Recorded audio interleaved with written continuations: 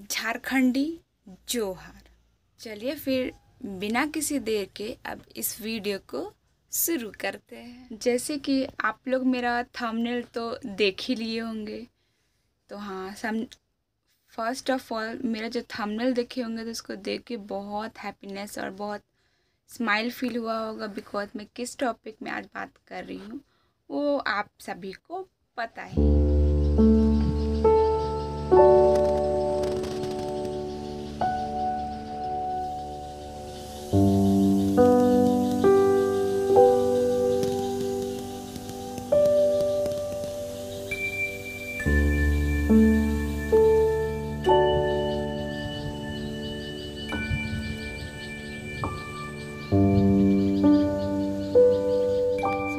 पे वीडियो भी मैं डाल दूँगी, आप लोग ज़रूर देखिएगा, है ना?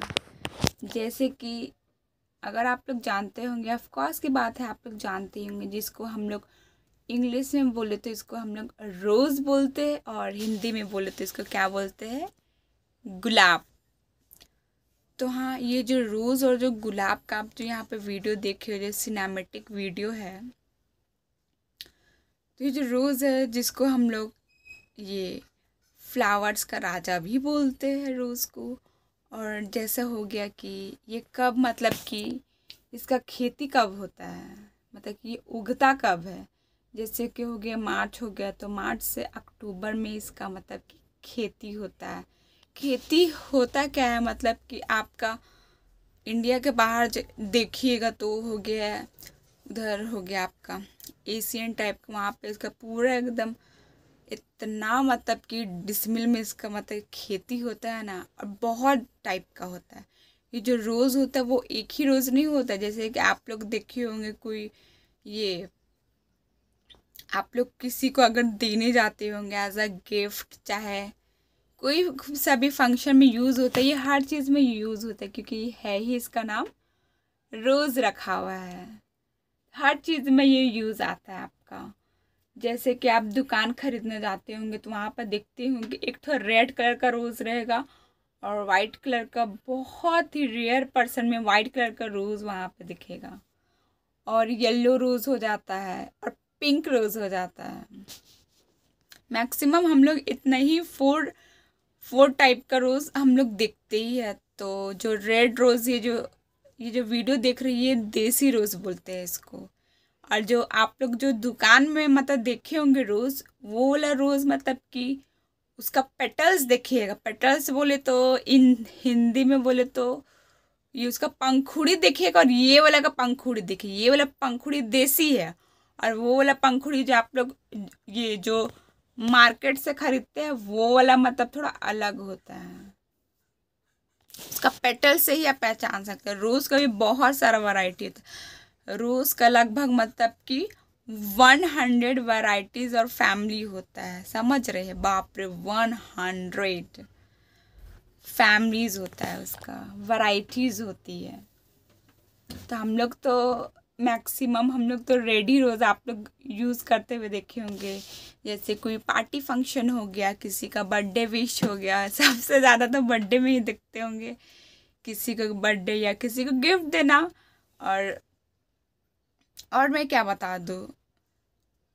बस वही है रोज़ रोज़ को मतलब जैसे ही देखेगा, वैसे ही मतलब मन और तन पूरा एकदम हैप्पी फील होता है।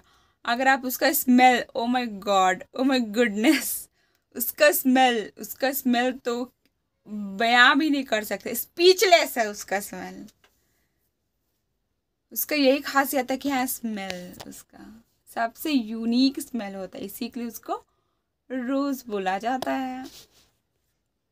जैसे कि कोई सैड इंसान है तो आप उसको भी दे सकते रोज़ वो फटाक से खुश हो जाएगा, चाहे खुश हो जाएगी। मेल फीमेल मैं दोनों का बात कर रही हूँ यहाँ पे, है ना? और क्या बोल सकती है? रोज़ रोज़ का क्या क्या यूज़ हो सकता है? आप लोग रोज़ ये जो वीडियो देख रहे हो, रोज़। हम लोग रोज़ का मतलब कि उसको खा भी सकते हैं। It is a edible flower जैसे कि कुछ हो गया, जैसे कुछ मीठा चीज़ हो गया।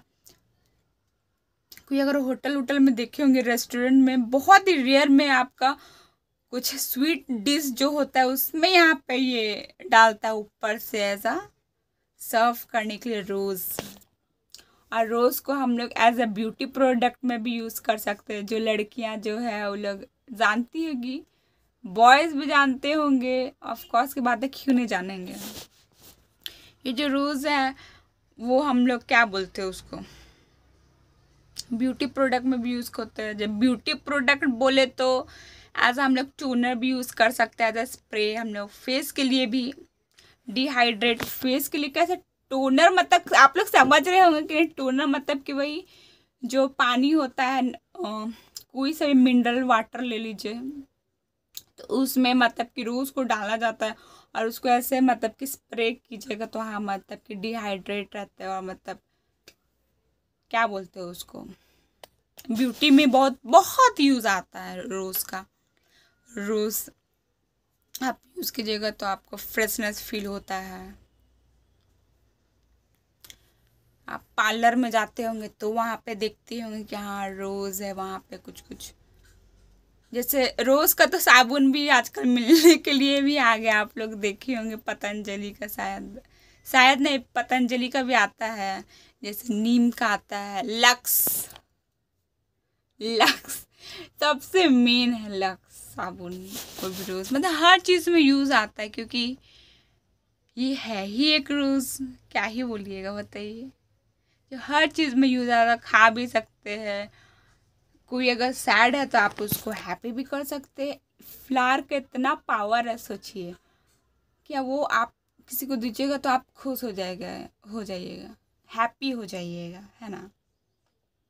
और क्या बोलूँ मैं? और सब चीज़ में भी यूज़ आता है। अगर आपको मेरा वीडियो थोड़ा सा भी अच्छा लगे तो क्या करना है आपको तो पता है, लाइक, कमेंट, शेयर और सब्सक्राइब एकदम फटाफट कर देना है बिना किसी देरी उस जो है ऑफ़ कोर्स की बात है, सब उसको देख के मतलब इम्प्रेस हो जाएगा, वो है ही कि मतलब किसी को भी अट्रैक्ट कर सकता है। लेकिन हाँ जो जितना किसी को अट्रैक्ट करता है, वो उतना वो उतना नशीला होता है। नशीला बोले तो जैसे कि रोज़ है है ना?